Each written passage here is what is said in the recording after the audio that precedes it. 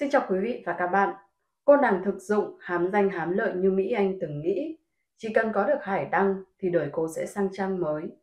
Cô có hạnh phúc, có nhà lầu, xe hơi, sống trong nhung lụa, được mọi người ngưỡng mộ. Cô mãn nguyện với những gì mình có. Thế nhưng cô đã nhầm. Cô chợt nhận ra cô vẫn còn yêu Việt Lâm, chứng kiến Việt Lâm tận tình quan tâm, chăm sóc cho Minh Anh trong hình hài của cô.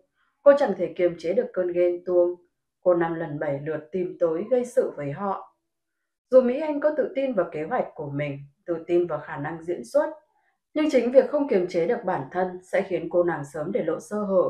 Một khi Hải Đăng và Việt Lâm nghi ngờ thân phận của hai cô gái, một khi hai chàng xoái ca song kiếm hợp bích, thì bộ mặt thật của Mỹ Anh sẽ sớm bị lột bỏ. Là những nội dung chính của chúng tôi trong video ngày hôm nay. Vụ tai nạn chính là bước ngoặt thay đổi vận mệnh của hai cô gái và cũng ảnh hưởng không nhỏ tới những người thân yêu. Nếu Hải Đăng lấy nhầm cô vợ mưu mô, thì Việt Lâm sau khi nhận ra Mỹ Anh không phải cô nàng phá thai mà cô đã bị sảy thai. Cô cũng đau khổ tuyệt vọng. Anh cảm thấy hối hận, cảm thấy thương cô. Đáng lẽ lúc đó anh cần cô ở bên an ủi động viên. Đằng này anh lại oán trách còn buông những lời cay nghiệt. Vì còn nặng lòng với Mỹ Anh nên anh quyết tâm chinh phục lại cô. Mà nào đâu biết rằng người con gái mang hình hài của Mỹ Anh thực chất là Minh Anh. Hai chị em đều bị hủy hoại dung nhan. Mỹ Anh nhân lúc Hải đang nhận nhầm cô là Minh Anh. Cô thuận nước đẩy thuyền, cộng với sự dung túng của bà Nga và sự giúp sức của bác sĩ Tài. Thành công hoán đổi gương mặt của hai chị em. Mỹ Anh thuận lợi làm vợ Hải Đăng, chính thức bước chân vào giới thượng lưu. Còn Minh Anh may mắn giữ được mạng sống, nhưng cô bị mất đi ký ức Cô phải làm lại cuộc đời trong thân phận mới. Việt Lâm sung sướng khi thấy người con gái mình yêu tỉnh dậy.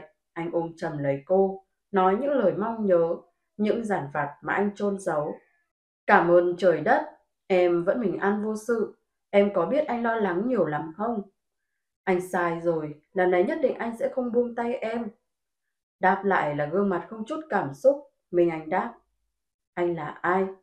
Việt Lâm nghĩ cô còn giận anh nên mới giả vờ như vậy. Anh vội thanh minh. Anh là Việt Lâm, chẳng lẽ em không nhận ra anh? Phía đối diện vẫn không có chút phản ứng. Anh tiếp lời. Mỹ Anh à, em nói gì đi chứ? Em đánh anh, chửi anh cũng được. Chỉ xin em đừng thở ơ với anh. Minh Anh không nhận ra Việt Lâm là chuyện đương nhiên vì cả hai chưa từng gặp mặt. Nhưng cô cũng chẳng thể nhận ra bà Nga và cô út những người thân yêu của cô từ khi lọt lòng. Bác sĩ thăm khám cho cô kết luận cô bị tổn thương não nghiêm trọng, có thể nhớ cũng có thể không. Việt Lâm tự nhủ dù cô có thế nào anh cũng sẽ ở bên chăm sóc bầu bạn. Anh dùng tấm chân tình của mình khơi gợi lại kỷ niệm cho cô. Cô em gái mưu mô xảo quyệt Mỹ Anh nghiễm nhiên làm dâu hào môn, là con dâu của chủ tịch. Cô cùng Hải Đăng làm việc tại tổng công ty, Tương lai cơ nghiệp nhà họ Trần sẽ được giao cho vợ chồng họ. Cô nàng thường xuyên giáp mặt với Việt Lâm, nhưng cô phải giả vờ như không quen biết.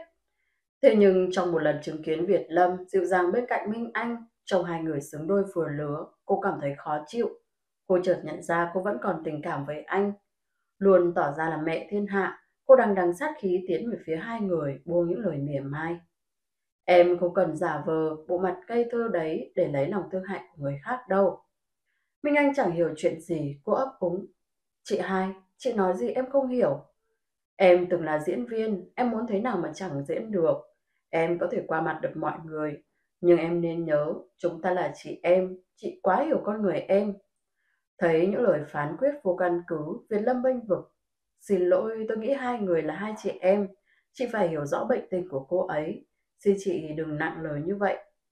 Lúc này Mỹ Anh mới lấy lại bình tĩnh, cô mới nhớ ra rồi cô đang là vợ hợp pháp của Hải Đăng. Dù gì Việt Lâm cũng từng yêu Mỹ Anh hết lòng. Cô nhanh chóng lấy lại vẻ yểu điệu, thục nữ, giọng nhẹ nhàng. Em gái à, chị thành thật xin lỗi. Hôm nay có nhiều chuyện xảy ra quá nên tâm trạng chị không tốt.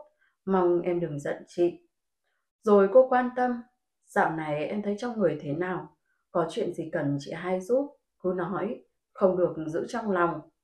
Minh Anh lễ phép. Chị hai, em biết rồi, Việt Lâm liền nhìn cô âu yếm. Chỉ là hiểu nhầm thôi, để anh đưa em về. Rồi anh ân cần dìu cô đi, để lại Mỹ Anh chôn chân, đứng nhìn hai người. Bất chợt những kỷ niệm đẹp giữa cô và Việt Lâm ùa về. Những lúc cô khó khăn nhất, tuyệt vọng nhất, anh luôn là vị cứu tinh xuất hiện kịp thời giải nguy cho cô.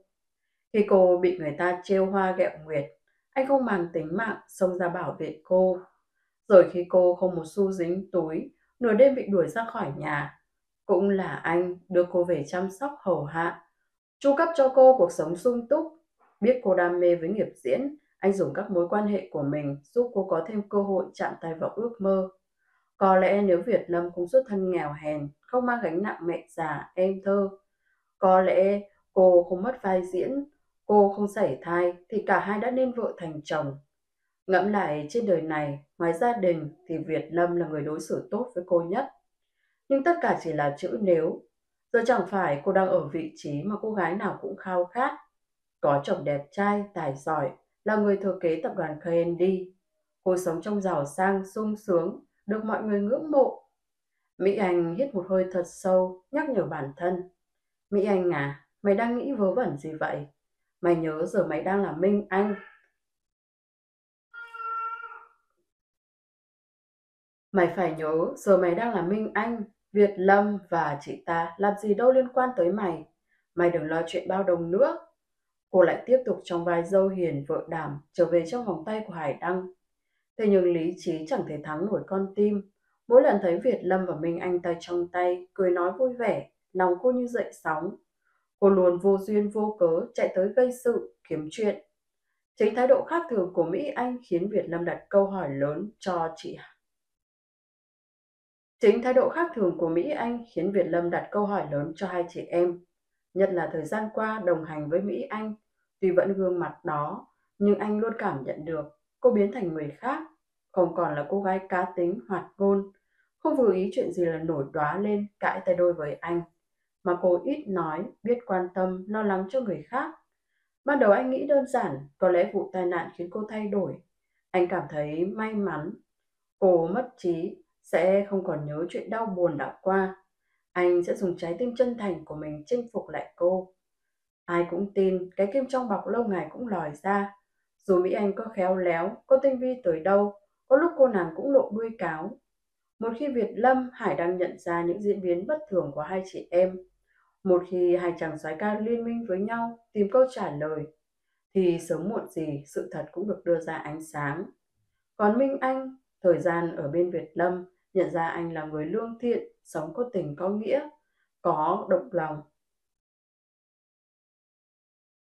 Cô có động lòng với anh hay không? Khi mình anh khôi phục trí nhớ, cô sẽ yêu ai, Việt Lâm hay Hải Đăng? Cô có đủ mạnh mẽ, dũng khí đối đầu với cô em gái Mỹ Anh? Hãy để lại ý kiến của bạn dưới video của chúng tôi để mọi người cùng bình luận. Xin kính chúc quý vị và các bạn có những giây phút xem phim thật thư giãn và thoải mái. Xin chào và hẹn gặp lại.